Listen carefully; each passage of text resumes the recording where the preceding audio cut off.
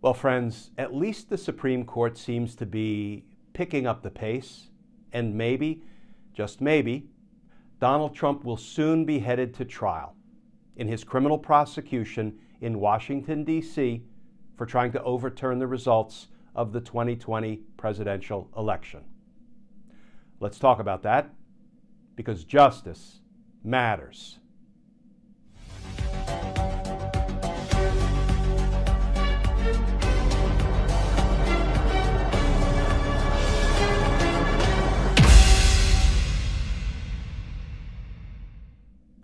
Hey all, Glenn Kirschner here.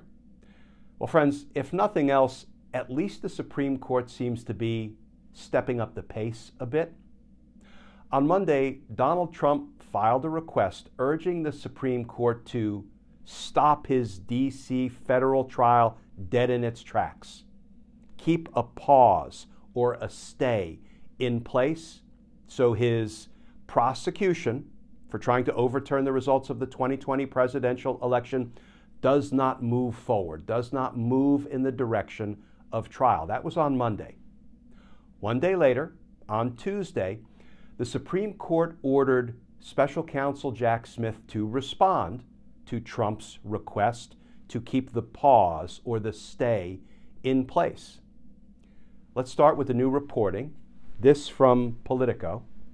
Headline Chief Justice gives Jack Smith one week to respond to Trump's bid to stave off trial.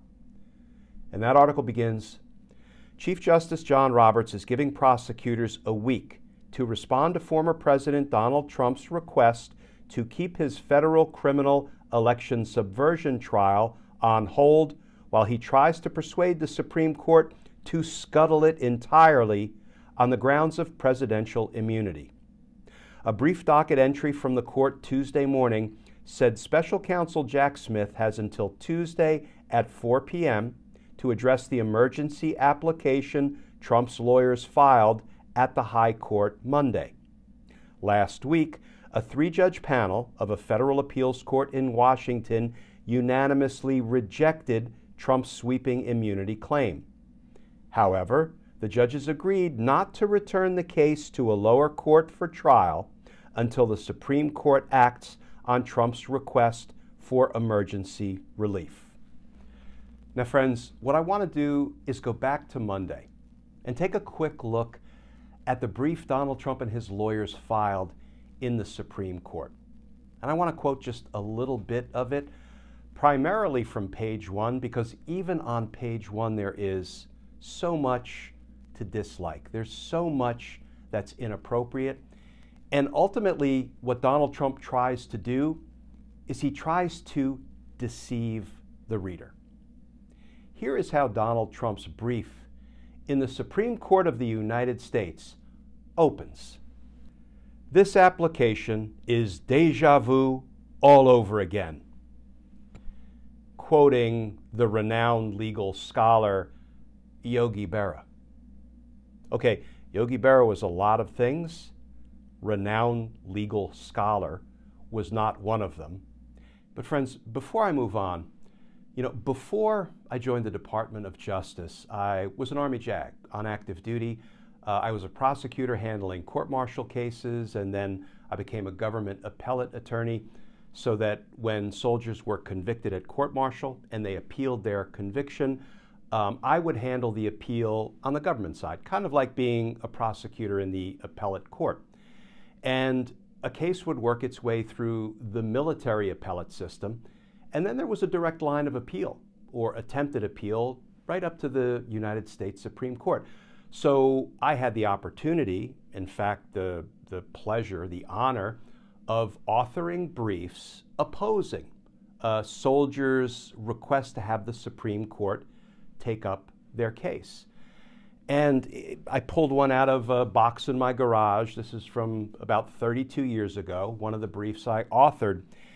And you know what I never put in a single brief or pleading or filing that was destined for the Supreme Court?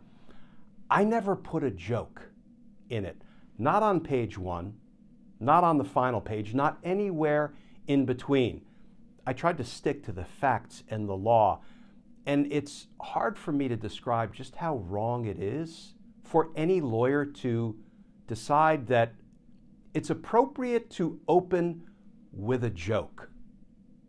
Like this is deja vu all over again, quoting Yogi Berra. But let's move on to Donald Trump's attempt to deceive in the brief he and his lawyers filed with the Supreme Court. Now, at the special counsel's urging, a panel of the D.C. Circuit has, in an extraordinarily fast manner, issued a decision on President Trump's claim of immunity and ordered the mandate returned to the district court to proceed with President Trump's criminal trial in four business days, unless this court intervenes, as it should.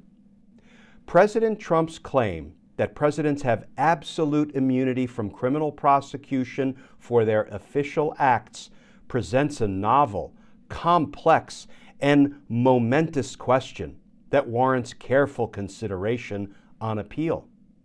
The panel opinion below, like the district court, concludes that presidential immunity from prosecution for official acts does not exist at all.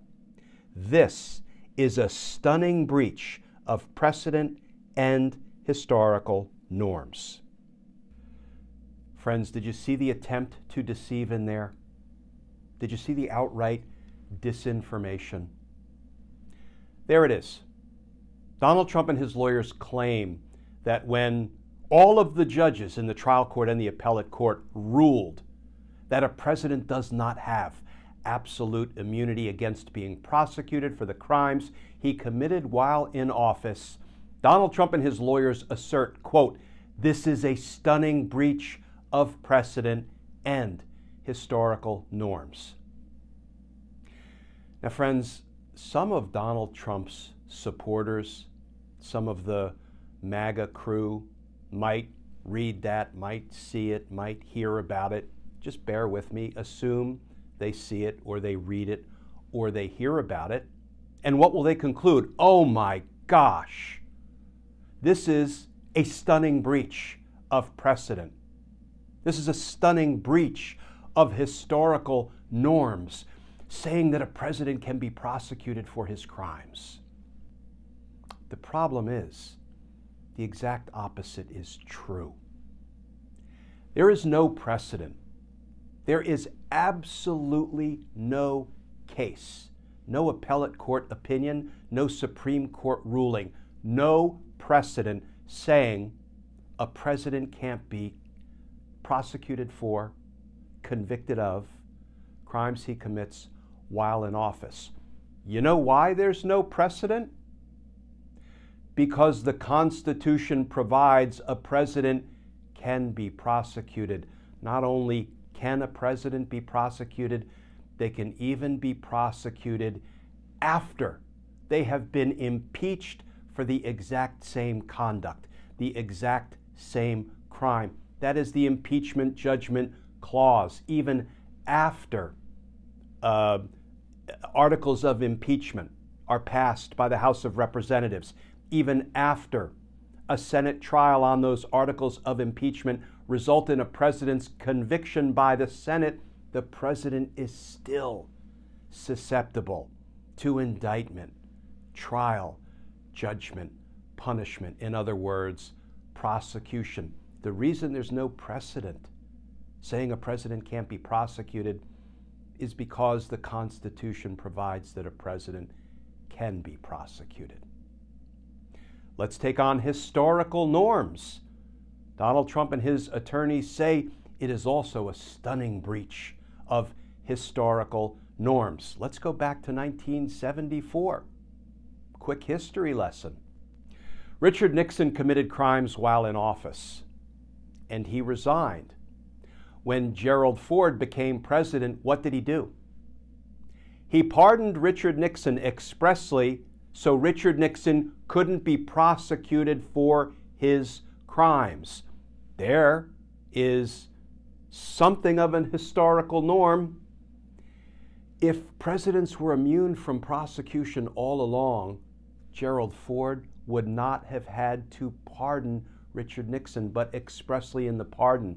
He said he is being pardoned so he can't be prosecuted for any crimes he committed while in office.